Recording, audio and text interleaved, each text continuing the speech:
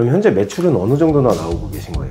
어, 일단 3월달까지 했을 때는 어, 한 1억 여기 보시면 1억 700 정도? 아 1억이요? 일주일 정도 못 팔면 몇 천만 원의 손해가 발생을 하는 건가요? 그쵸, 2, 3천 정도는 날아가는 거죠. 이제 웃으면서 좀 할 수 있지만 주식에 조금 손을 대시면서 집에 큰 빚이 생겼어요. 한 2억 정도? 어. 지금 이제 부모님한테 드리는 거는 지난달에 제가 1,100만 원 드렸어요. 그래서 빨리 이 빚에서 해방시켜서 아빠를 좀 행복하게 해주고 싶다. 엄마 아빠를 행복하게 해주고 싶다라는 생각이 좀 큰 것 같아요. 뒤쪽이 저희 빠레트를 쓰고 있는 공간이거든요. 음, 보통 인터넷에 그런 짤들 돌잖아요. 한 입 먹고 반품을 한다든지 아, 네. 그런 분들 계시나요? 실제로 있어요. 방금도 아까 CS 보고 내려온 게 상세 페이지 내에 나와 있는 맛 설명과 실제 맛이 너무 다른. 약간 이렇게 그게, 네. 그게 무슨 소리죠? 어, 그 저도 잘 모르겠는데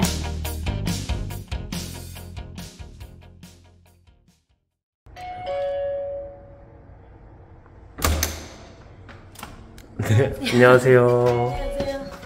어, 자기소개 한번 부탁드릴게요.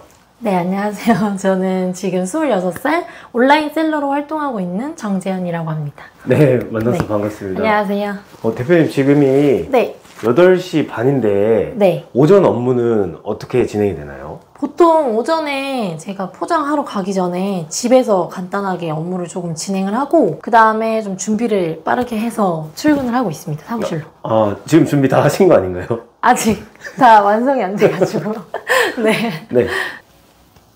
대표님 지금 온라인 셀러 하신다고 하셨는데 네. 네, 어떤 거 하시는 거예요? 저는 일단 주방용품을 조금 주력으로 하고 있는데 최근에는 좀 식품군으로 넓혀서 OEM하고 있는 제품들하고 OEM 하려고 테스트하고 있는 제품들하고 좀 주력으로 팔고 있어요. 보시는 분들이 OEM이 뭔지 모를 수도 있을 것 같은데 아, 네. 간단하게 설명해 주시겠어요? 원래 이제 제조사에서 팔고 있는 제품을 제 브랜드로 붙여서 음. 이제 나가는 예를 들어서 뭐 A 약과 공장에서 원래 약과를 팔고 있는데 이제 제 이름으로 그 최소 수량에 맞춰서 주문 제작을 넣어서 제 브랜드를 붙여서 나가는 어, 네 그런 제작 방식입니다. 지금 26살이라고 하셨는데 벌써 브랜드를 가지고 계신 거예요? 브랜드를 갖고 있는 건 아니고요. 사실 뭐 브랜딩 할 만큼 유명한 것도 아니고 이제 막 좀 팔고 있는 단계라서 열심히 잘 팔아서 유명해지면 참 좋겠지만 네 노려보겠습니다 브랜딩. 네. 그럼 대표님은 어떻게 하시다가 네. 온라인 selling을 하게 되신 거예요? 저는 제가 좀 사회생활을 일찍 시작했거든요. 갑자기 집안이 조금 힘들어져가지고 뭐 누구나 다 사연은 있겠지만 회사 생활을 좀 시작을 했는데 월급은 너무 작고 이제 일은 너무 힘든 그런 일부터 처음에 시작을 하다 보니까 내가 과연 이렇게까지 일을 하는데 이 돈 받고 일하는 게 맞나 그리고 내가 이렇게까지 일하면 내 걸 하더라도 난 좀 잘할 수 있겠다라는 좀 생각이 있었어요. 그래서 한번 사업을 해보자 이렇게 마음을 먹고 처음에 마케팅 회사에 들어갔어요. 사업을 하려면 내가 뭘 알아야 되지 해서 마케팅 회사에 들어가서 한 8개월 정도 일을 했거든요. 8개월 정도 일을 하면서 아 이제 좀 내가 혼자 해봐도 되겠다 싶은 단계에 마침 인스타그램에 이런 게 뜨더라고요. 그 이렇게 하면 월 300 벌 수 있다. 많이 뜨죠. 네, 많이 뜨죠. 그래서 저도 한창 부업을 알아보던 그런 시기였어가지고 그게 광고가 뜨니까 저도 들어가서 바로 이제 강의 신청하고 부업으로 시작해서 지금까지 오게 되었습니다. 그럼 현재는 그럼 본업으로 하고 계신 거예요? 네, 지금 완전 전업셀러이고요. 판매를 주력으로 하고 있습니다. 그러면 그 이전에는 뭐 하셨어요? 그 마케팅 회사에 잠깐 다녔고요. 음. 그리고 그 전에는 원래 영어 선생님이었어요. 지금 여기가 송도잖아요. 네. 원래 송도 여기 인천 분이신 거예요?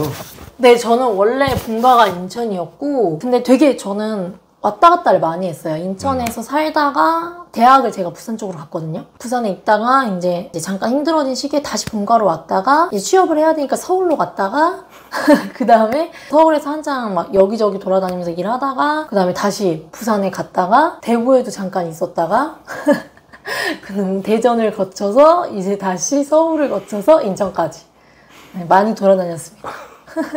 먹고 살기 위해서 네, 제 터전을 찾아서 좀 오래 방황했던 것 같아요. 지금은 뭐 하시는 거예요?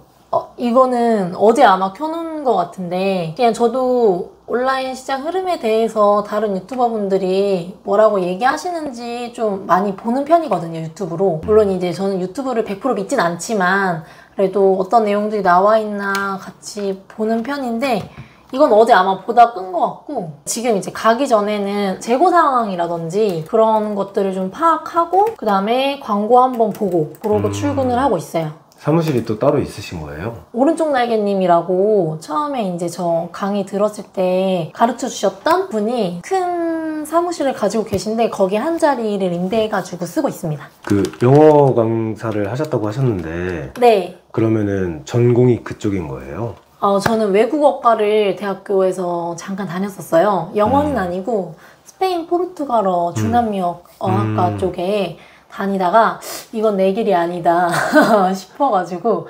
때려쳤습니다. 아 중퇴하신 네, 거예요? 중퇴를 했습니다. 음. 지금 이렇게 온라인 셀링을 시작하신 이유가 그런 마케팅 회사라든지 이런 데보다 좀 부가가치가 높다고 판단해서 시작하신 거잖아요. 네. 그럼 현재 매출은 어느 정도나 나오고 계신 거예요? 어, 일단 3월달까지 했을 때는 어, 한 1억 여기 보시면 1억 700 정도? 아 1억이요?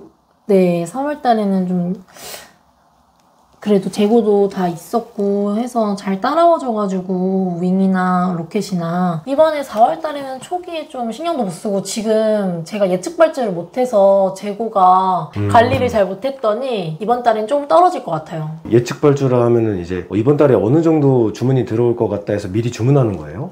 네, 중국에 아무래도 제가 수입을 하고 있는 상품들을 이 정도 재고를 조금 확보를 해야겠다라는 음. 이제 그 예측 발주를 해가지고 미리 수입을 넣어야 되는데 한 1, 2주 정도 걸리니까 음. 제가 그거를 제대로 못 챙겼더니 이번 달에는 주력인 상품이 조금 못 들어올 것 같아서 delay 돼가지고 그래도 일주일 판매가 없으면 거의 몇천 단위로 날아가니까 다른 제품들이 좀 받쳐주고 있긴 한데 그래도 좀 아쉬울 것 같아요. 일주일 정도 못 팔면 몇 천만 원의 손해가 발생을 하는 건가요? 그쵸, 2, 3천 정도는 날아가는 거죠. 음. 근데 뭐 이거 하나만 조금 이런 거니까 다른 제품들을 대신에 좀 더 잘 팔려고 제가 조절을 해봐야겠죠. 음, 네. 지금 보여주신 게 쿠팡이잖아요. 네네네. 여기에서만 팔고 계신 거예요? 저는 쿠팡만 주력으로 하고 있고 처음에 네이버 스마트 스토어도 해봤는데 네이버 스마트 스토어는 지금 후반 진입자로서 조금 들어가기가 어렵다고 생각을 하는 게 아무래도 순위 노출제잖아요. 음. 그러다 보니까 제가 그 1, 2, 3등에 못 들면 거의 판매가 일어나지 않는 플랫폼이라고 생각을 해요. 제 생각에는. 음. 근데 그 1, 2, 3등에 들어가기까지가 지금은 너무 빅 시장이 되어버려서 너무 잘하시는 분들이 많아져서 제가 이제 자본도 많이 넣어야 되고 시간도 많이 갈아 넣어야 되는데 그런 자본도 제가 마련이 되어 있지 않았고 그렇게 투자하기에는 좀 어렵다는 판단이 들어서 쿠팡으로 넘어와서 주력으로 하고 있습니다. 그럼 매출이 1억 정도 발생을 하면 순이익은 얼마 정도 되는 거예요? 지금 광고를 어떻게 태우냐에 따라서 다른데 지금은 제가 10%좀 넘어가고 있거든요. 이렇게 되면은 한 달에 한 7, 8%총 음. 남는 수익이 제가 파는 상품들이 거의 주로 작거나 그다음 무게가 좀 나- 많이 나가지 않고 누구나 좀 쉽게 팔 수 있는 그런 제품군들이에요. 그러다 보니까 가격 경쟁이 물론 이제 가장 마진이 남는 선에서 제가 팔고 있긴 하지만 그렇게 마진을 높게 잡을 수 없는 음. 이미 시장가가 잘 형성되어 있는 그런 시장이기도 하다 보니까 그렇게 수익률이 높진 않아요. 순마진율로만 따지면 한 음. 8%에서 10% 안짝으로 들어옵니다. 그러면 확실히 퇴사하길 잘, 잘하셨네요. 너무 잘했죠. 상품 광고는 어떤 식으로 넣는 거예요? 아, 저는 이제 쿠팡 내에서 쿠팡 내에 있는 그 매출 최적화 광고라고 해서 자동으로 AI가 돌려주는 네, 음. 그런 시스템을 이용하고 있고요. 상품에 따라서 이제 조금 그 시장 반응을 확인할 수 있도록 먼저 테스팅을 하고 그 다음에 거기에 맞는 캠페인이 좀 돌아갈 수 있도록 그러니까 음. 상품 지수가 좀 올라갈 수 있는 그런 광고를 좀 유도하고 있어요. 어떤 상품이 잘 팔리는 상품이에요? 솔직히 말해서 어떤 제품이 잘 팔린다라고 하는지는 저도 정확히는 따르기가 좀 어려운 게 어, 이거 잘 팔릴 것 같아 라고 해서 제가 소싱을 해도 막상 테스트를 해보면 시장 반응이 있는 거는 좀 다르더라고요. 그래서 직접 테스트를 해보고 팔아봐야지만 알 수 있는 것 같아요. 그럼 대표님이 이것저것 다 팔아보신 거예요? 저는 처음에 주력 상품을 찾을 때 하루에 3개에서 5개 정도는 무조건 등록을 하고 무조건 그걸 광고를 돌려서 시장 반응을 확인을 했어요. 그래서 거기서 아, 이거는 조금 어, 정말 소비자들이 반응이 있구나, 시장 반응이 있구나 라고 하는 거를 매일매일 테스팅을 해서 이제 반응이 오는 것들을 뽑아가지고 좀더 잘 팔리기 위한 작업들을 해서 그 다음에 이제 제 주력으로 만들었죠. 그러면 광고에 들어가는 비용도 만만치가 않을 것 같아요. 광고를 처음에 저희가 태울 때는 20, 30%까지 태우면 거의 역마진이에요, 역마진. 왜냐면 제가 처음부터 마진을 붙여서 파는 것도 아니고 시장가에 맞춰서 반응을 봐야 되기 때문에 광고비를 이렇게 조금 많이 쓰면은 당연히 역마진인데 이거가 제 주력 상품이 돼서 어느 정도 팔리겠구나. 그러면 그 어느 정도 팔리는 거에서 내 마진이 이 정도, 한 달에 나한테 이 정도 벌어다 줄 상품이구나가 확정이 되면 다음 달에 그걸 다 회수할 수 있는 거잖아요. 처음에는 조금 투자를 하고 가는 편입니다. 지금 아직 26살밖에 안 되셨는데 그런 걸 벌써 다 돌아가는 원리를 이해를 하신 거예요. 솔직히 이 원리를 이해한 건 저도 되게 오래 걸렸어요. 그 제가 온라인 셀링을 시작한 지는 2021년에 시작했으니까 이제 3년 차? 근데 저도 2년 초반? 그러니까 1년 반 정도까지는 판매 장사에 대한 거는 거의 몰랐었다라고 생각을 해요. 왜냐면 그전에는 막 프로그램을 다루거나 아니면 뭐 리셀을 하거나 약간 이런 방향들로 조금 진행을 했었어가지고. 음.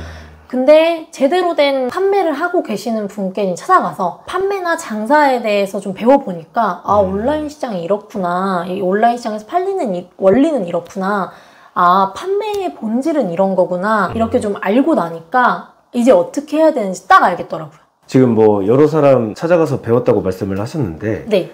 다 돈을 주고 배우는 건가요? 그럼요. 저는 쑥스러운 얘기지만 그 강의비에만 한 천만 원 넘게 태웠습니다 음. 아무래도 온라인 사업은 큰 자본이 들어가진 않잖아요. 처음에 뭔가 오프라인처럼 인테리어 비용이 들어간다든지 뭔가 자리세가 들어간다든지 그런 건 아니라서 그 강의비가 온라인 사업의 기본적인 투자금이라고 생각을 했거든요. 음. 자본금이라고. 그래서 그 경험을 사고 노하우를 사는 게 필요하다라고 생각을 해서 좀 과감하게 투자를 했던 편이고 그렇게 했더니 제가 정확히 한번 강의비를 좀 해보니까 한 1,300만 원 정도 되었더라고요. 많이 쓰셨네요. 네, 이제 어. 뽑아야죠, 열심히. 문이 안 열려서 아 여기 침대 협탁이 문이 가끔 그래요. 네, 여기로. 아니 대표님 지금, 지금 여기 영양제가 되게 많아요. 아, 네. 영양제 건강 관리 되게 신경 많이 쓰시는 것 같아요. 가기 전에 네. 네. 하나씩 먹고 갈까 봐요. 이것만 따로 나중에 드시면 되거든요. 아, 아 저요? 네. 아, 아, 감사합니다. 그 온라인 셀링 하면 보통 이렇게 혼자서들 많이 하시잖아요. 네. 대표님은 그럼 혼자 하는 게 아니고 지금 출근하는 사무실 가면은 다른 분들도 이렇게 있으신 거예요? 아, 네. 아무래도 지금 사무실을 이제 한 공간을 임대해서 쓰고 있다 보니까 다른 또 임대하고 계시는 여러 대표님들도 계시고 그다음에 제 직원분이 또 한 분 계세요. 지금은 어. 네, 1인 사업가가 아니라 그래도 도와주시는 분이 한 분 있으셔 가지고 음. 네, 가면은 커뮤니케이션 할 일이 많이 있습니다. 어, 벌써 직원분까지 고용하신 거예요? 아니면은 할 수가 없더라고요. 제가 일일이 뭐 포장하고 발찌하고 이런 것들을 하기는 하지만 그게 이제 주가 되면 안 되고 저는 판매를 또 키우는 게 제 주 업무잖아요. 음. 그러다 보니까 네 맡기고 있습니다. 가보실까요? 그러면은 오전에 재고 파악하고 광고 관리하고 네. 사무실 가서는 어떤 거 하시는 거예요? 이제 포장하고 그 다음에 한 번 더 실제고 또 확인하고 그 다음 직원분이랑 같이 이제 업무하는 것들 커뮤니케이션 하는 것들 뭐 상품 등록해야 되는 것들 이렇게 음. 해가지고 판매를 좀 더 일으킬 수 있는 부분들 집중해야 되는 부분들을 하러 가려고 합니다. 대표님 지금 보면 네. 진짜 학생 같으신데 어 감사합니다. 어, 다른 또래들 보면은 네. 재밌게 놀잖아요 그 나이에 그쵸. 네. 어. 대표님은 혹시 이제 그런 재밌게 노는 친구들 보면은 나도 좀 학생 하고 싶다 이런 생각 안 드세요? 대학생이 세상에서 제일 꿀직업 같아요.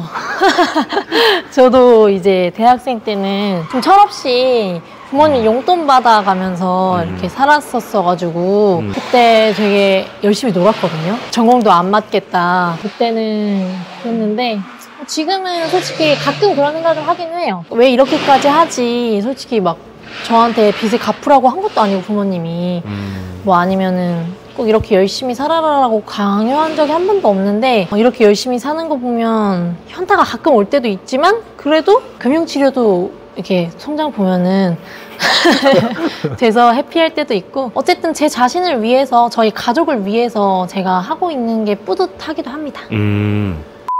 아까 빚 얘기하셨는데 어떤 빚을 갖고 계신 거예요? 아, 이제 웃으면서 좀 할 수 있지만, 제가 원래 한 스무 살 초반 때까지는 한 번도 막 돈 걱정이나 이런 걸 하면서 살지 않았던 항상 부모님이 신경 써주셨어가지고 그렇게 음. 살았는데, 스무 살 초반에 이제 저희 어머님이 처음으로 주식에 조금 손을 대시면서 집에 큰 빚이 생겼어요. 한 2억 정도? 어. 그러다 보니까 이제 아 내가 이렇게 살면 안 되겠구나. 그래서 제가 갚진 않았죠. 당연히 사회 초년생이고 막 이러니까 월급도 적고 이래서 원래 그 전까지는 100% 용돈을 좀 탔쓰던 네, 음. 철부지 없는 딸이었다가 이제 그때부터는 아, 이렇게 살면 안 되겠구나 해서 제가 저 하나 어쨌든 좀 먹여 살리고 돈 생기면 또 같이 갚고 그렇게 하면서 조금 열심히 갚아 나가는데 그래도 이게 한계가 있잖아요. 그 직장인 월급으로 이렇게 큰 빚을 좀 갚아 나간다는 게 너무 오랜 시간이 걸리잖아요. 그리고 이제 저희 어머니 아버님도 이제 나이가 있으시고 그래서 아 이렇게 하면 안 되겠다. 내가 조금 더 큰 돈을 벌어서 이거를 좀 빨리빨리 갚아야겠다. 이런 생각이 좀 강하게 자리 잡힌 거죠. 음, 효녀네요. 감사합니다. 음, 빚은 거의 다 갚았나요? 어, 이제 한 1억 조금 가까이 남아있고, 지금 제가 그래도 한 달에 순이익이 감사하게도 천 단위로 나오니까, 그냥 지금처럼 제 생활비 어느 정도 되고, 나머지는 빚 갚는데 조금 투자를 하면 금방 갚을 수, 1년 안에 저는 갚을 수 있을 것 같아요. 지금 이제 부모님한테 드리는 거는 지난달에 제가 1,100만 원 드렸어요. 1100만 원이요? 아, 이번 달에. 네, 이번 달에. 저도 빨리 그 빚에서 해방시켜 드리고 싶은 마음이 사실 커요. 왜냐면 저희 아버지가 정말 일생을 성실하게 일하시면서 살아오셨는데 저희 어머님이 어떻게 보면 살짝 이렇게 사고를 치셔서 그거를 수습하고 계신 거잖아요. 음. 좀 그게 마음이 너무 아프더라고요, 저는. 그러니까 그렇게 살지 않아도 되었던 삶이었는데 어떻게 보면 그런 작은 사고로 인해서 본인이 원치 않은 삶을 계속해서 이어나가는 게 제 눈에는 그게 막 그렇게 행복해 보이진 않더라고요. 그래서 음. 빨리 이 빚에서 해방시켜서 아빠를 좀 행복하게 해주고 싶다. 엄마 음. 아빠를 행복하게 해주고 싶다라는 생각이 좀 큰 것 같아요, 저는. 어머니 아버지한테 하고 싶은 말 있나요? 음, 그냥 항상 믿어줘서 고맙고, 기다려줘서 고맙고, 이제 기다려준 만큼 제가 보답하겠다고. 음.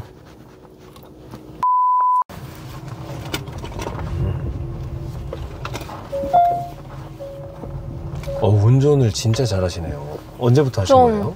어릴 때부터 했어요. 어릴 때 사회생활을 시작했으니까 차가 좀 필요했거든요. 먼 거리를 좀 자주 다녀가지고. 그때 중고차 레이 700만 원짜리 한 대 사가지고 다음날 사자마자 강남 끌고 나갔어요. 내가 여기서 사고 안 내고 한번 쫙 잘하면 나 이제 어디든 다닐 수 있다. 그래서. 여기에요? 네, 여기는 저희 택배 싸는 창고입니다. 이쪽이 저희 파레트 쓰고 있는 공간이거든요. 음. 안녕하세요. 안녕하세요. 오랜만이시. 안녕하세요. 지금 어디 가시는 거예요? 일단 그 송장 뽑고 그런 게 위에 나와 있을 거라서 직원분이 해주셨을 거거든요. 그래서 그거 가지고 안녕하세요. 안녕하세요. 안녕하세요. 안녕하세요. 다 같이 일하는 직원분이신 거예요? 아니요 여기는 이제 오른쪽 날개님 직원분들이시고 음. 제 직원분은 여기. 아, 같은 직종에 종사하시는 어 맞아요. 다? 네, 아, 이분들은 직원분들이시고 음, 음. 이따가 사무실 가시면 음. 네 같이 하고 계시는 대표님들도 따로 계세요. 여기서 이제 송장 뽑아지면은 저는 이거 가지고 직원분이랑 같이 택배 빠르게 싸고 월요일이다 보니까 택배량이 좀 많아가지고 제가 위탁하고 있는 제품들은 빨리 발주서 지금 10시 전까지 보내놓고 나머지 빨리 택배 오전 것까지 해서 최대한 오후 전까지 해서 싸고 보내고 그 다음에 또 오후 발주 들어오면 또 쳐내고 오늘은 그럼 물건이 몇 개 정도 나가는 거예요? 아까 제가 주문 주문수 보니까 한 173건 정도 됐던 것 같은데 173개요? 네네네 그러면 특별히 173개를 싸야 되는 거예요? 그 중에 이제 위탁건도 있고 이제 보내야 되는 것도 음. 있어서 나눠서 아마 성장이 나올 거예요 아, 위탁이라는 게 보시는 분들 잘 모를 수도 있을 것 같은데 어떤 거예요? 아 이제 제가 직접적으로 물건을 가지고 있지 않고 그쪽 제조사나 아니면 뭐 도매처에서 직접 물건을 저 대신 위탁해서 보내주는 고객한테 음. 저는 그쪽에 엑셀 파일로 발주만 넣고요 거기서 직접적으로 상품을 고객한테 보내주는 위탁 판매라고 음. 합니다 그러면 그 제조사의 물건을 대표님이 대신 팔아주는 거네요? 그쵸 제조사의 물건이나 도매처의 물건들을 제가 상품을 업로드를 해서 제가 직접 광고를 태워서 제 마케팅비를 써서 이제 판매를 하는 거죠 네 송장 다 뽑아가지고 가면 됩니다 송장이 되게 많은데 이게 처음 하실 때부터 이렇게 많이 팔렸어요? 아니요, 저 처음에 진짜 몇 건 안 돼가지고 막 다섯 건 막 이렇게 몇 건 안 되니까 여기 와가지고 알바하고 계신 아까 그 분들하고 막 수다 떨면서 막 한두 건씩 싸고 가고 한두 건씩 싸고 가고 그랬는데 이제는 제가 혼자 쳐낼 수 없는 양이어가지고 네, 아까 그 직원분이랑 같이 내려와서 하고 있는데 지금 발주 꼬인 게 좀 있어서 CS 음. 처리하고 내려오신다고 하셔가지고 제가 먼저 싸고 있으면 될 것 같아요. 자.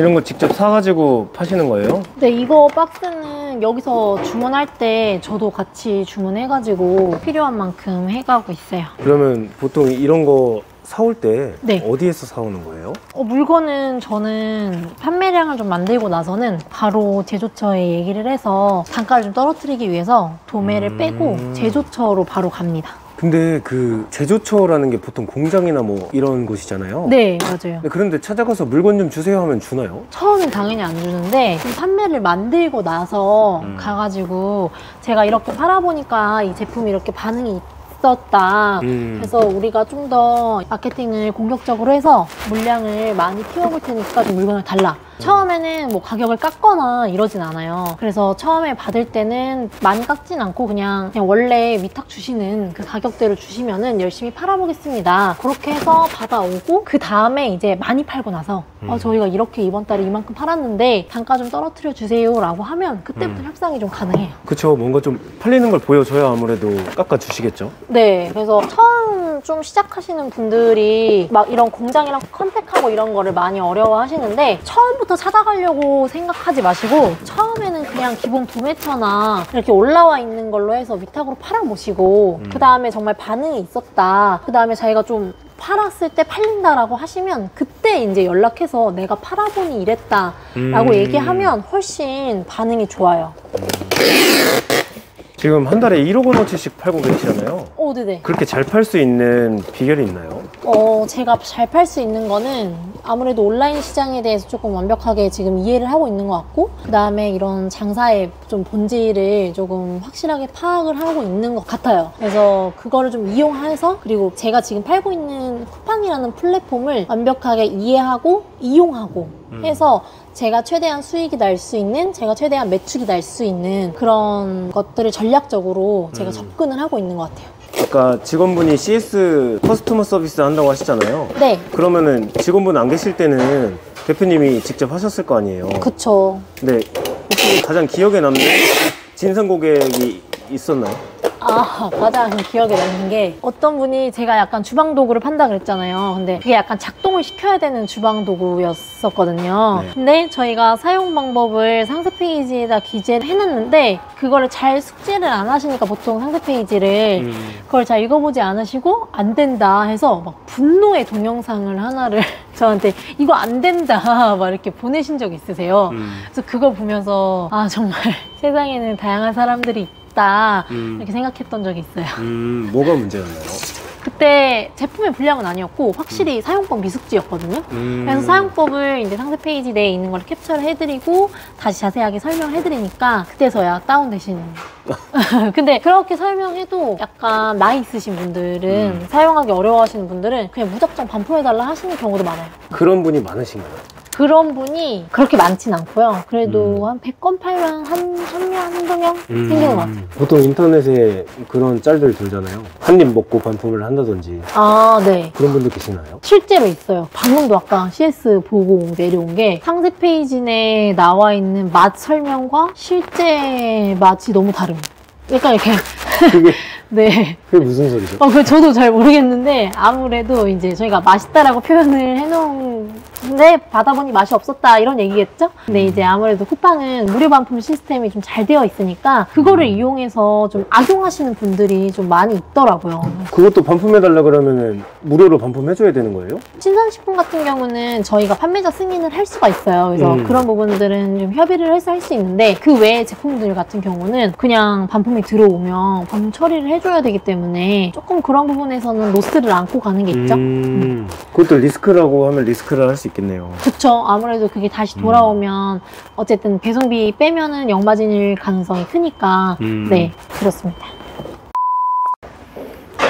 오늘 지금 170건이나 나갔다고 했잖아요. 아 아까 방금 오전 거까지 확인해 보니까 200건 가까이 되더라고요. 192건. 어, 그러면은 오늘 그 200건 팔아서 매출이 얼마나 나오는 거예요? 어, 솔직히 로켓 제품까지는 지금 제가 파악을 못 해서 음. 정확하진 않은데 매출 금액으로만 따지면 거의 천 넘을 거예요. 근데 이게 이제 금요일 오후 건부터 해서 나온 금액이니까 하루로 따지면 그렇게 크진 않는 것 같아요. 네. 음. 제 그럼 거 처음 해보시는 거 아니에요? 아, 처음은 아니고 가끔 빠를 때 옮겨야 할 때 직원분 대신에 자, 오늘 저랑 이렇게 인터뷰 해보셨는데 네. 어떠셨나요? 어, 일단 누가 제 하루를 쫓아다닌다는 게 이렇게 재밌는 일인지 몰랐어요. 그래서 제 얘기를 일단 많이 할 수 있다는 게 너무 영광이었고 재밌었고 즐거웠습니다. 음, 대표님처럼 이렇게 온라인 셀링을 좀 시작하고 싶으신 분들이 많이 있을 것 같아요. 그 분들한테 한마디 해주신다면. 제가 온라인 셀링을 시작한 게 2021년인데 그 당시에는 아무래도 온라인 붐이기도 했고 굉장히 유튜브에 핵심이 빠진 내용들 그리고 좀 잘못된 정보들이 많이 올라와 있어서 제가 그 정보들만 믿고 이렇게 정보가 어그러진 분을 막 따라가고 이러다 음. 보니까 되게 오랜 시간이 걸렸어요. 그래서 진짜 온라인 셀링을 시작하시려는 분들이 정말 제대로 된 정보를 조금 제공받으실 수 있게 제가 유튜브를 시작을 했거든요. 어. 진짜 제찐 이런 경험들과 그동안 이제 헤맸던 그런 내용들과 진짜 성과를 냈던 노하우들을 담고 있으니까 한 번씩 놀러 와 주시면 감사할 것 같습니다. 제가 댓글에다가 재현 씨 유튜브 링크 달아드릴게요. 감사합니다.